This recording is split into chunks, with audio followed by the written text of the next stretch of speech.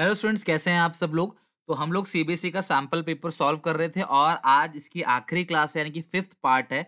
और मैंने बाकी जो फोर्थ पार्ट है, उसके अंदर पार्ट ए पूरा खत्म कर दिया है। तो आज के पार्ट में हम लोग पार्ट बी जो सीबीएसई का सैंपल पेपर है, उसमें जितने भी क्वेश्चन है, वो पूरा का पूरा एनालाइज करेंगे, उसको सॉल्व करेंगे। तो स्टार्ट करते हैं क्वेश्चन ट्वेंटी थ्री से जो वन मार्क का क्वेश्चन है। तो क्वेश्चन लिखा हुआ है, इनके पास ट्वेल्व परसेंट डिबेंचर है शुरू में, यानी कि ओपनिंग में। और एंड में जो है, वो है वन लैख सिक्सटी थाउज़ेंड के डिवेंचर्स ये जो ट्वेल्व परसेंट होता है, इसको बोलते हैं इंटरेस्ट रेट या कूपन रेट एडिशनल पॉइंट में लिखा हुआ है interest on debenture half yearly जाता है, इकतीस सितंबर को, दूसरा थर्टी फ़र्स्ट मार्च को. और जो डिवेंचर रिडीम हुए हैं, वो तीस सितंबर 2019 को रिडीम हुए हैं। बात को समझना, साल के शुरू में डिवेंचर थे कितने के? दो लाख रुपए के. और तीस सितंबर तक दो लाख ही रहा फिर तीस सितंबर को डिबेंचर रिडीम कर दिया चालीस हज़ार का और लास्ट में डिबेंचर कितने का बचा है? एक लाख साठ हज़ार। यानी कि इस पीरियड तक डिबेंचर रहे दो लाख के और इस पीरियड तक डिबेंचर रहा एक लाख साठ हज़ार का। इंटरेस्ट का रेट है बारह परसेंट। समझ रहे हो बात को? तो आपको बताना है कि इंटरेस्ट ऑन डिबेंचर कितना होगा। तो अगर हम सबसे पहले बात करें दो लाख तो इस दो लाख का आपको निकालना है बारह परसेंट। दो लाख का बारह परसेंट और कितने महीने का आप निकालो एक लाख सिक्स मंथ का। और जैसे ही आप छह महीने का पे कर देते हो तो बचता कितना? एक लाख साठ हज़ार। एक लाख साठ हज़ार का निकालेंगे बारह परसेंट। और कितने महीने का? छह महीने का। तो दो लाख का बारह परसेंट अगर आप निकालते हो तो ये बनता है चौबीस हज़ार और छह महीने का बनता है बारह हज़ार। और ये एक लाख साठ हज़ार है, इसका आप निकालोगे बारह परसेंट। और छह महीने का तो बनेगा नौ हज़ार छः सौ। तो टोटल इंटरेस्ट जो हम पे करेंगे, वो पे करेंगे class twenty one thousand six hundred ये इंटरेस्ट हमारी पेमेंट होगी। और जो डिवेंचर रिडीम हुआ है फोर्टी थाउज़ेंड का, वो रिडम्शन ऑफ़ डिवेंचर भी माइनस होगा। तो टोटल फाइनेंसिंग में जो आउटफ्लो होगा, वो होगा sixty one thousand six hundred यानी कि इसका जो सही ऑप्शन आएगा, वो आएगा ऑप्शन नंबर सी यानी कि sixty one thousand six hundred इतना पैसा आउटफ्लो हुआ है। चालीस हज़ार तो आपने सीधा सीधा डिबेंचर को रिडीम कर दिया और twenty one thousand six hundred जो है, वो interest on debenture second question what will be देखो, आपको ये सारी कैलकुलेशन वर्किंग नोट में करना है रफ में करना है, कहाँ भी करो, बस आपको सिर्फ़ टिक करना है, आपको आंसर मिल जाएगा नंबर मिल जाएगा वहाँ पे. करंट रेशियो क्या होगा अगर वर्किंग कैपिटल ज़ीरो है तो? बच्चों, मुझे एक बात बताओ वर्किंग कैपिटल का फॉर्मूला क्या होता है? Working capital is equal to current asset minus current liability अगर वर्किंग कैपिटल ज़ीरो है तो करंट लाइबिलिटी जो है वो किसके बराबर होगा? करंट असेट के। अगर वर्किंग कैपिटल ज़ीरो है तो करंट लाइबिलिटी और करंट असेट दोनों बराबर होगा। और करंट रेशियो का फॉर्मूला है, होता है current asset upon current liability और दोनों बराबर हैं तो कट के जो करंट रेशियो आएगा, वो आएगा वन तो सही आंसर जो होगा क्लास का, इसका होगा वन यानी कि ये वन आंसर आएगा। अगर वर्किंग कैपिटल ज़ीरो है, यानी करंट असेट करंट लाइबिलिटी के बराबर होगा तो उस सिचुएशन में जो करंट रेशियो आएगा, वो आएगा one ratio one, okay? Twenty five which one the following is not a part of finance cost in statement of penal class finance cost होता है इंटरेस्ट समझ रहे हो बात को? बैंक चार्जेस जो है वो फाइनेंस कॉस्ट बिल्कुल नहीं होता बैंक चार्जेस इंटरेस्ट नहीं है। फाइनेंस को रेज करने के लिए जो खर्चा आता है, चाहे डिवेंचर पे हो, चाहे पब्लिक डिपॉजिट पे इंटरेस्ट हो, चाहे loss on issue of debentures हो ये सारा फाइनेंस कॉस्ट है कौन सा नहीं है? तो बैंक चार्जेस जो है इसमें सबसे बेस्ट आंसर है तो आप लगाओगे ट्वेंटी फिफ्थ का A which one of the following is not an investing cash flow कौन सी चीज़ इन्वेस्टिंग में नहीं आती? सेल ऑफ़ लैंड आता है। मार्केटेबल सिक्योरिटी तो कहाँ पे आता है? कैश एंड कैश इक्विवेलेंट में। बाकी sale of share purchase of equipment ये सब चीज़ आएगा इन्वेस्टिंग में। लेकिन जो आपने मार्केटेबल सिक्योरिटी यानी कि शॉर्ट टर्म इन्वेस्टमेंट को खरीदा, बेचा, वो सब क्लास जो है वो कैश एंड कैश इक्विवेलेंट में आता है, वो इसके अंदर नहीं आता। क्लास प्रपोज डिविडेंड, प्रपोज हुआ है, अभी पेड नहीं हुआ है तो ये होती है कंटिजेंट लाइबिलिटी और इसीलिए क्लास ये कंटिजेंट लाइबिलिटी है तो ये बैलेंस शीट के फुट नोट में आता है। आप कभी भी प्रपोज डिविडेंड को बैलेंस शीट के अंदर अब नहीं देखोगे, वो बैलेंस शीट के नीचे आता है हमेशा। यानी वो कंटिजेंट लाइबिलिटी है। सर, कंटिजेंट लाइबिलिटी क्या होता है? ऐसी लाइबिलिटी जो किसी सिचुएशन के ऊपर डिपेंड करता है कि वो लाइबिलिटी होगी या नहीं होगी। Twenty eight question the dash में indicate that firm is experiencing stock out and loss sales class देखो, ये जो इन्वेंट्री टर्नओवर रेशियो होता है, वो बताता है class stock outs and loss sale तो आप लगा देना इसका बी ट्वेंटी एट का, इसका नाम है इन्वेंट्री टर्नओवर रेशियो आपने पढ़ा भी है, इसका फॉर्मूला क्या होता है? कमेंट करके सब लोग देखते हैं कितने लोगों को नॉलेज है इन्वेंट्री टर्नओवर रेशियो का फॉर्मूला क्या होता है? देखते हैं कितने लोग बता पाते हैं? करंट रेशियो जो है वो थ्री रेशियो टू है। अकाउंटेंट चाहता है रेशियो को टू रेशियो वन में मेंटेन करना। बात को ध्यान समझना। ये है तीन लाख रुपए और ये है दो लाख। ये है सी ए और यह है सी एल तो करंट रेशियो जो आएगा वो थ्री रेशियो टू होगा। और अकाउंटेंट चाहता है कि रेशियो टू रेशियो वन हो जाए तो अगर हम यहाँ से घटा दे एक लाख रुपए, यहाँ से भी घटा दे एक लाख तो रेशियो क्या हो जाएगा? Two ratio one. यानी कि अगर हम करेंट लाइबिलिटी की पेमेंट कर दें कैश से कैश से तो रेशियो जो है वो टू रेशियो वन मेंटेन हो जाएगा। चेक करना क्लास रीपे बिल पेबल ठीक है परचेज गुड्स ऑन क्रेडिट नहीं शॉर्ट टर्म लोन नहीं तो यानी कि ऑप्शन ए जो है वही इसका करेक्ट आंसर है ट्वेंटी नाइन का ऑप्शन ए जो है वो करेक्ट है। थर्टी थ्री मार्क्स का क्वेश्चन है थर्टी क्वेश्चन जरा फटाफट देख के बना लेते हैं। कैलकुलेट प्रोप्राइटरी रेशियो फॉर्मूला तो पता होगा आपको प्रोप्राइटरी रेशियो का फॉर्मूला क्या होता है? Shareholder fund upon total asset मैं सॉल्व कर लेता हूँ। यहाँ पे पहले मैं गिवन इन्फॉर्मेशन लिख लेता हूँ क्वेश्चन की। Question number thirty, proprietary ratio का फॉर्मूला है shareholders fund upon total asset तो जो प्रोप्राइटरी रेशियो है वो क्या है class? Two upon one. Shareholder fund जो है, वो shareholder fund upon total asset तो शेयर होल्डर फंड तो हमको यहाँ पे दिया हुआ होगा। चेक करो टोटल एसेट रेशियो दिया हुआ है, डेट दिया हुआ है। अच्छा ये क्या दिया? Total asset to debt ratio दिया हुआ है, ठीक है? Total asset to debt ratio दिया हुआ है। हमें निकालना प्रोप्राइटरी रेशियो है। दिया क्या है?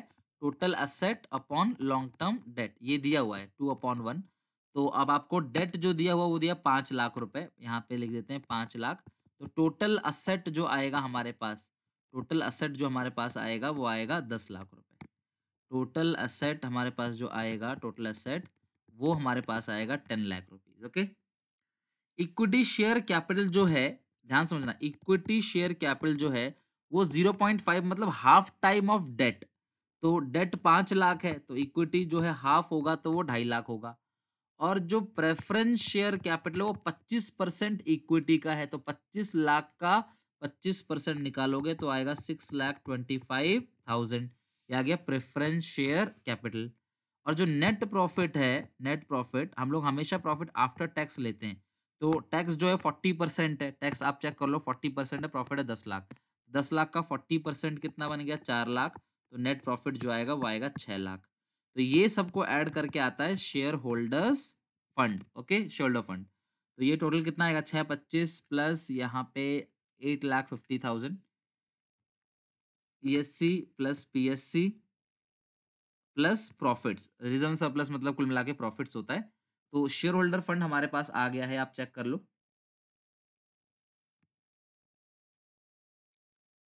प्लस ये ट्वेंटी लाख है, ये six lakh twenty five thousand नहीं आएगा sixty two thousand five hundred आएगा। ठीक है? Sixty two thousand five hundred आएगा sixty two thousand five hundred आएगा। ये रहे थे ना आप, पच्चीस percent sixty two thousand five hundred आएगा। तो टोटल आएगा nine lakh twelve thousand five hundred तो और जो ऊपर रेशियो है टोटल असेट तो दस लाख का आ गया है।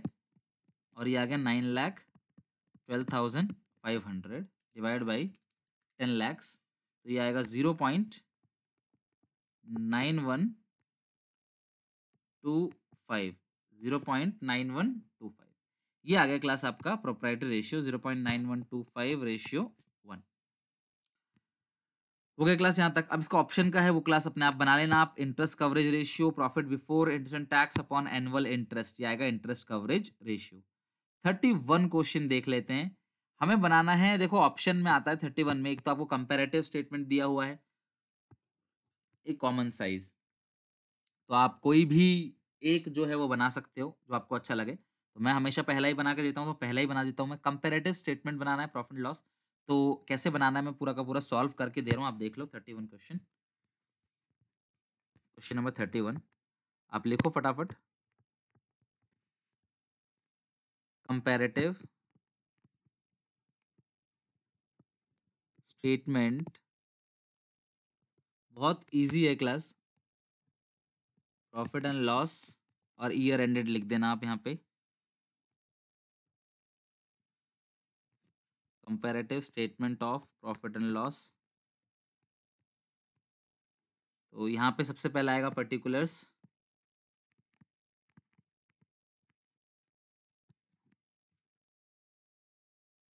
नोट्स। उसके बाद आएगा two thousand eighteen nineteen two thousand nineteen twenty absolute change percentage change ठीक है? तो सबसे पहले इसके अंदर आता है revenue from operation revenue from operation आपको रेवेन्यू फ्रॉम ऑपरेशन दिया हुआ होगा, आप चेक करो। ट्वेंटी लैक्स और ये आएगा twenty five lakhs.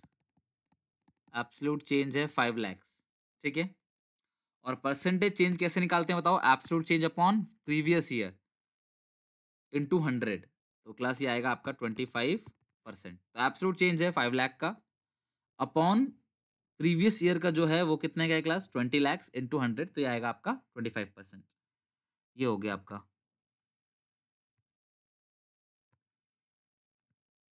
twenty lakhs, twenty five lakhs total हो गया। ये आपका लिख लो आप टोटल रेवेन्यू। अब हम एक्सपेंस की लिस्ट बनाएँगे। Twenty five percent. अब बनाएँगे कुछ एक्सपेंसेस की लिस्ट। तो एक्सपेंस के अंदर सबसे पहला आता है cost of material. Cost of materials. तो वो आपको यहाँ दिया हुआ है टेन लैक्स। सब कुछ दिया हुआ है, बस आप क्वेश्चन देखो ना यहाँ पे, देखो, सब कुछ गिवन है। टेन लाख और थर्टीन लाख चेक करो, दिया हुआ है, टेन लाख और थर्टीन लाख इस तरह से अदर एक्सपेंस नील और वन ट्वेंटी तो ये आएगा टेन लाख और थर्टीन लाख यहाँ पे आएगा थ्री लाख थ्री लाख को डिवाइड दे देंगे टेन लाख से इंटू हंड्रेड जो कि बनेगा thirty percent cost of material के बाद होता है अदर एक्सपेंस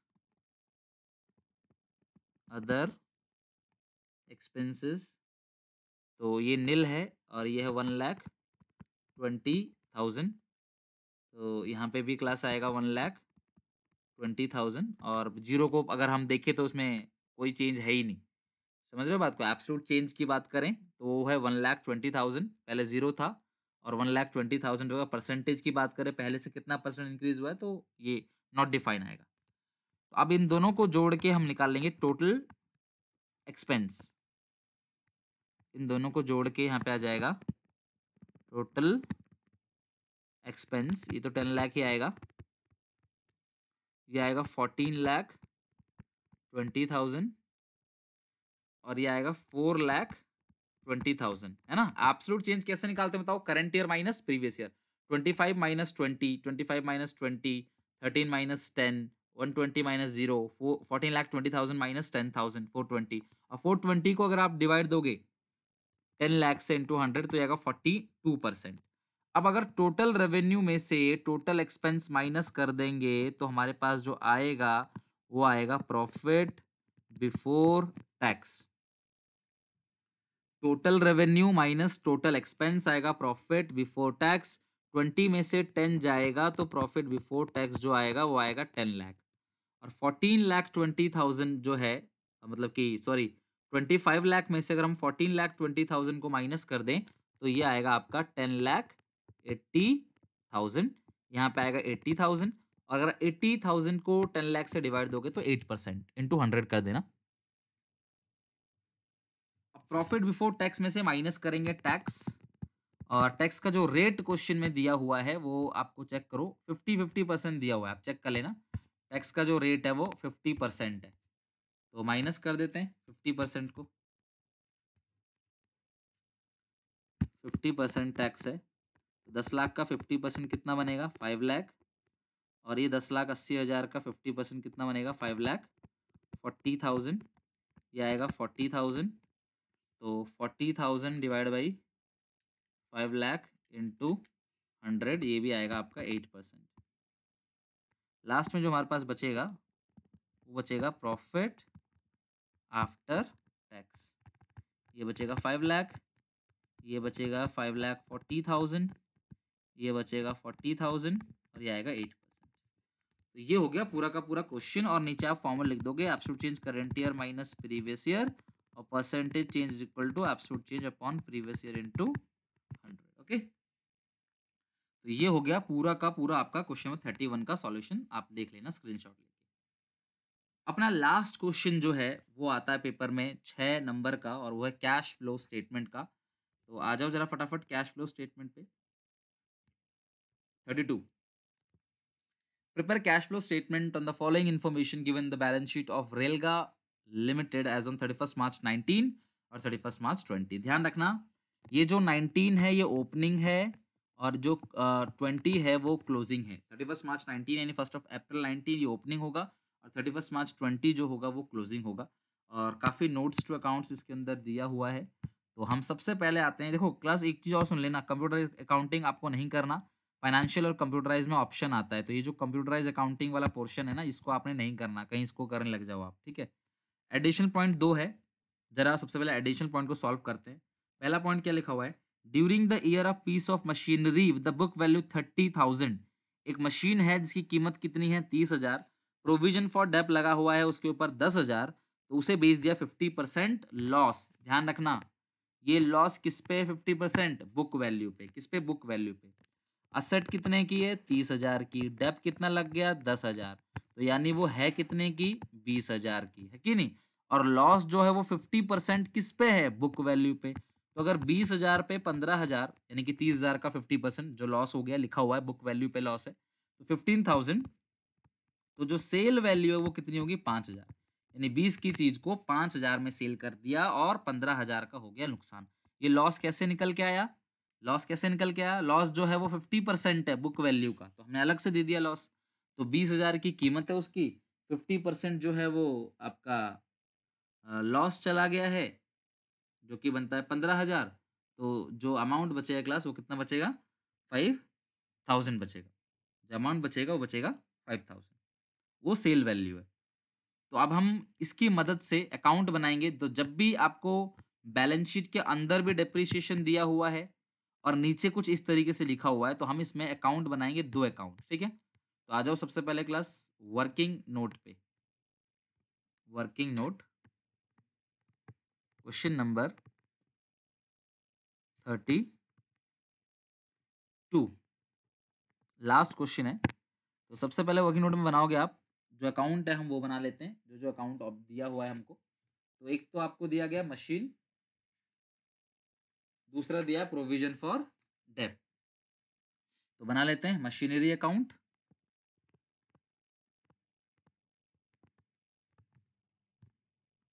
एक बनेगा मशीनरी अकाउंट दूसरा बनेगा provision for dep account machine account दूसरा बनेगा प्रोविज़न फॉर डेप अकाउंट ये दो अकाउंट कब बनाते हैं? जब बैलेंस शीट में भी डेप्रिसिएशन और नीचे भी कुछ दिया हुआ हो असेट में sale purchase by balance B D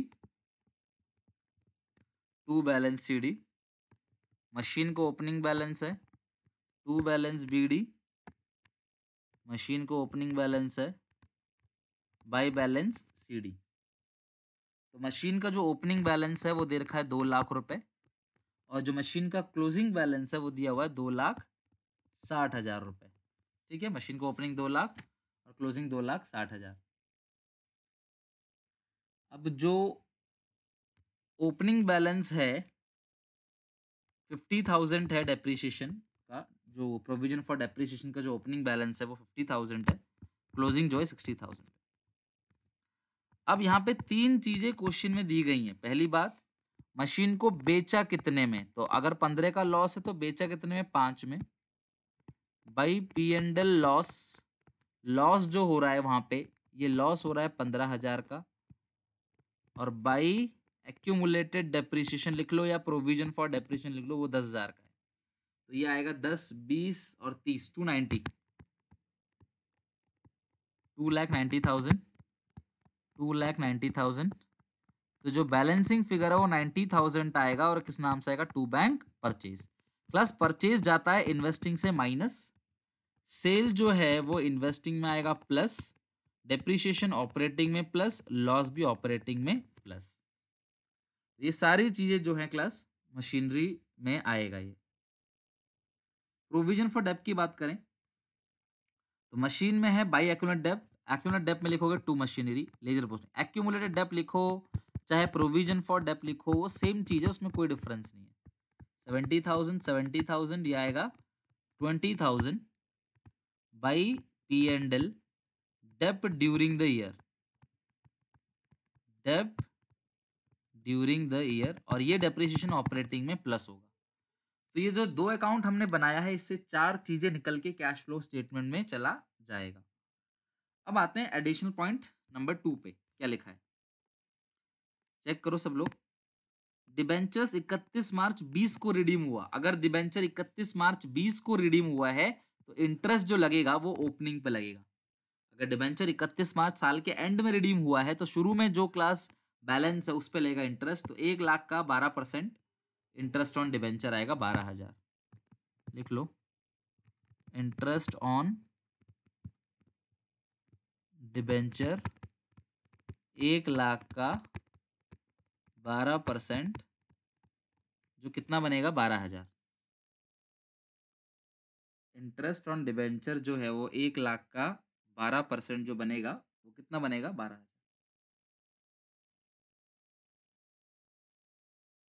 तो ये है क्लास पूरा का पूरा, इंटरेस्ट ऑन डिबेंचर। अब इन चीज़ों को हमें रखना कहाँ है? कैश फ्लो स्टेटमेंट के अंदर। जो हमने बना रखा है, इसको हमें रखें कहाँ पे? कैश फ्लो स्टेटमेंट के अंदर। तो हेडिंग डालते हैं। Cash flow statement cash flow statement heading बनाओ अच्छी सी। Cash flow statement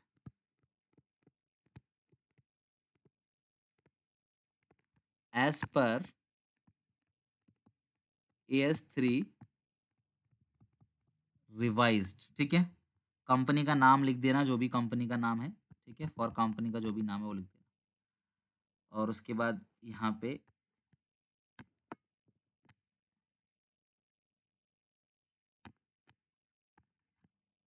amount details particulars ठीक है? पर्टिकुलर्स डिटेल्स और अमाउंट पर्टिकुलर्स डिटेल्स और अमाउंट तो सबसे पहले क्लास हम काम करेंगे, पूरा का पूरा फॉर्मेट हम बना लेते हैं। ऑपरेटिंग इन्वेस्टिंग फाइनेंसिंग ये थोड़ा सा छोटा करके। तो ये जो पहला एक्टिविटी होता है, उसमें हम लिखते हैं। मैंने कैश फ्लो पूरा पढ़ा रखा है आपको। आप प्लेलिस्ट में जाके कैश फ्लो की ढूंढ वीडियो ढूंढ सकते हो। Cash flow statement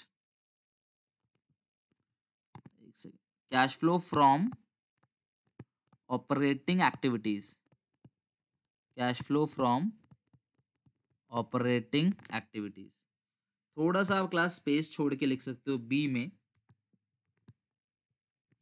Cash flow from investing activities थोड़ा सा स्पेस छोड़ के। Cash flow from financing activities तीन चार लाइन छोड़ के लिख देना। डी में कैश एंड कैश इक्विवेलेंट्स और आपको पता ही कैश एंड कैश इक्विवेलेंट क्या होता है? A plus B plus C इसमें प्लस करते हैं ओपनिंग कैश तो जो बन के आएगा हमारे पास, वो आएगा क्या? क्लोजिंग कैश तो अगर ये बराबर है तो इसका मतलब सही है और बराबर नहीं है तो मतलब कुछ मिस्टेक खैर, जो हमने अभी तक बनाया है, उसमें हम लोग लिख लेते हैं फटाफट। सेल ऑफ़ मशीनरी हमारा फाइव थाउज़ेंड आ रहा था। आपने वर्किंग नोट बना रखा है। Purchase of machinery purchase of machinery वो माइनस होगा क्योंकि सेल करने से पैसा आता है और परचेज करने से पैसा जाता है। सेल परचेज तो हो गया मशीन का ये रहा। ये सेल था, ये परचेज था।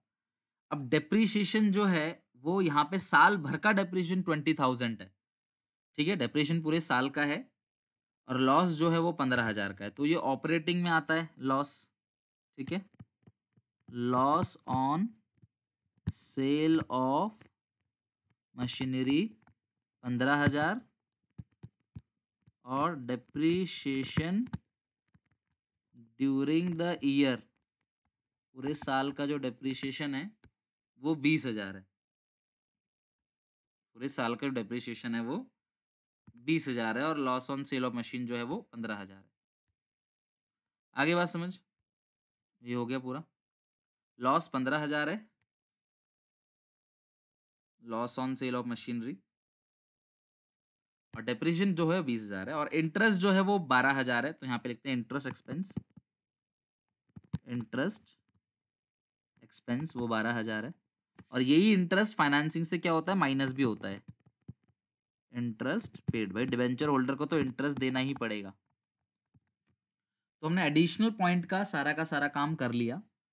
और अब हम लाइन बाय लाइन पॉइंट को पढ़ते हैं। जो भी जैसे दिया होगा वैसे करते चले जाएँगे। तो सबसे पहले मुझे दिख रहा है शेयर कैपिटल दो लाख से ढाई लाख हो गया।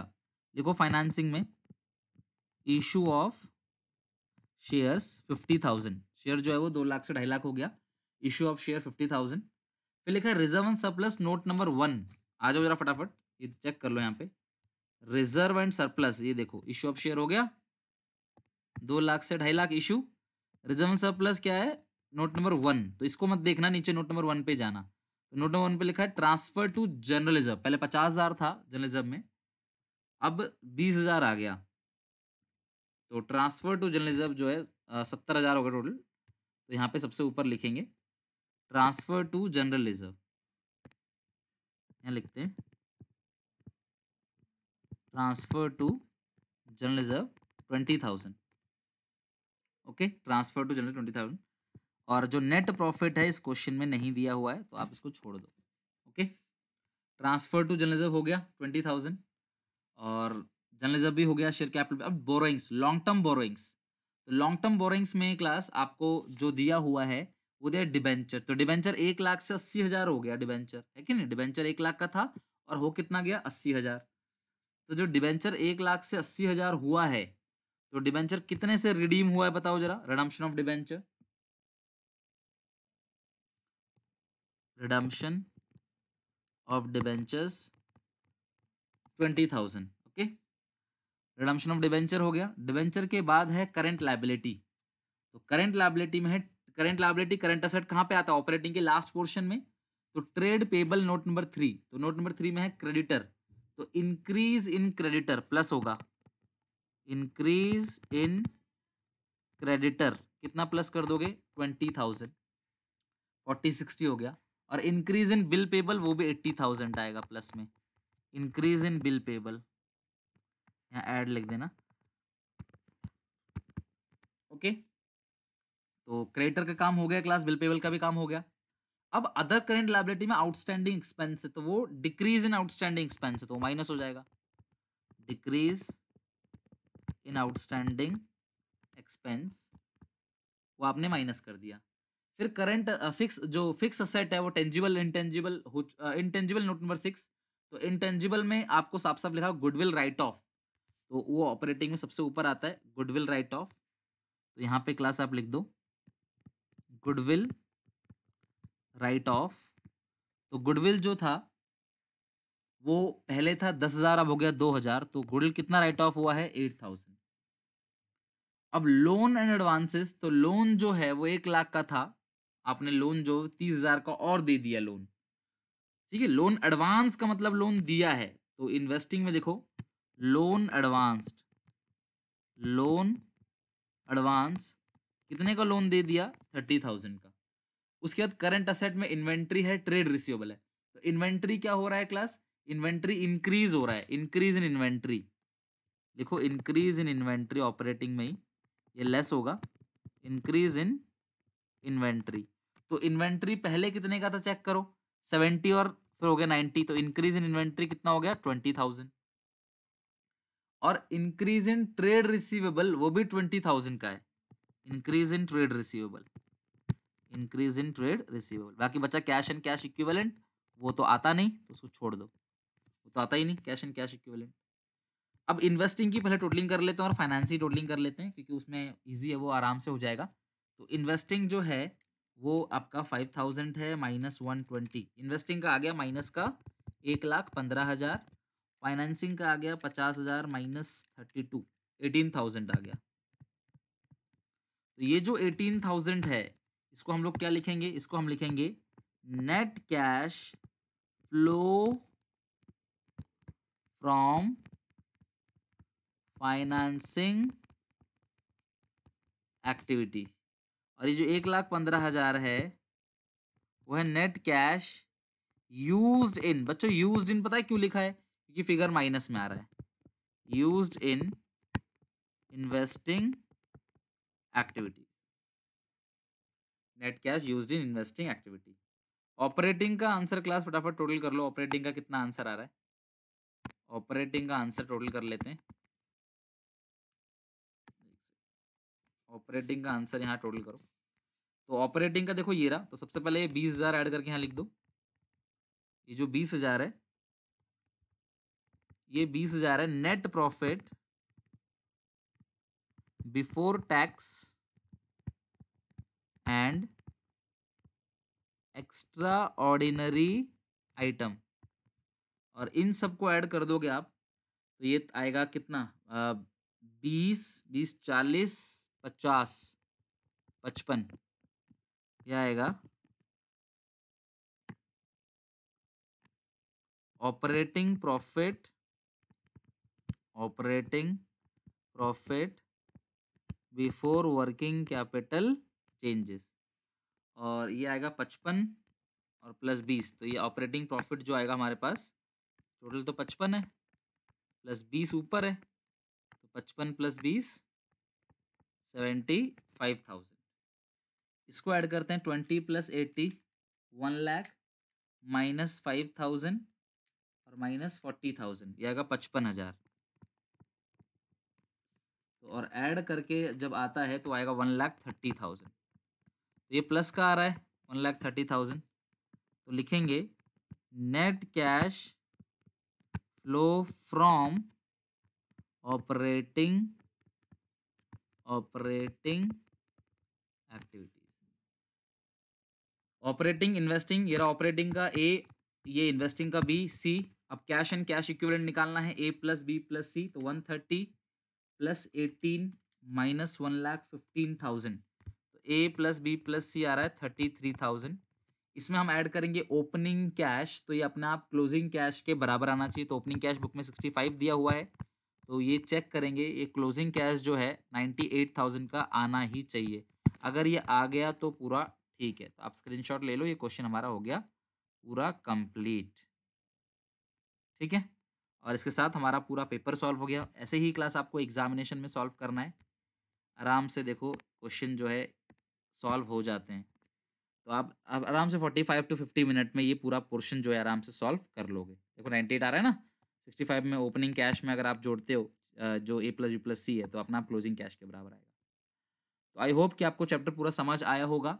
अकाउंट्स का मैंने करा दिया आपको पूरा सैंपल पेपर सॉल्व उसी तरीके से बीएसटी का भी कराऊँगा इको का भी कराऊँगा, उसके बाद में रिवीजन कराऊँगा पूरा course as per new syllabus फिर आपके प्रैक्टिस पेपर एमसीक्यू हर एक चैप्टर का मिक्स एमसीक्यू फिर उसके बाद क्लास हम देखेंगे प्रीवियस ईयर के कौन कौन से क्वेश्चन है और देन लास्ट में कौन से कौन से क्वेश्चन इस साल एग्जामिनेशन में आ सकते हैं। डैम श्योर है, साठ पैंसठ नंबर का तो आपको क्लियर ही बता दूँगा कि इस टाइप का क्वेश्चन एग्जामिनेशन में देखने को मिलेगा। तब तक के लिए class bye bye take care thank you very much class इतना सपोर्ट करने के लिए। और प्लीज़ सब्सक्राइब करके बेल आइकन दबा देना। क्लास ट्वेल्थ के जितने भी स्टूडेंट्स हैं, उनमें वीडियो को शेयर करो ताकि सब हमारे चैनल से जुड़ जाएँ और हम सब मिलके इस बार ट्वेल्थ में ninety five percent ninety eight percent even हम ट्राई करेंगे क्लास अपने सब्जेक्ट में सौ में से सौ दिला सको अकाउंटिंग को बी के अंदर। टेक केयर बाय बाय मिलेंगे नेक्स्ट वीडियो में।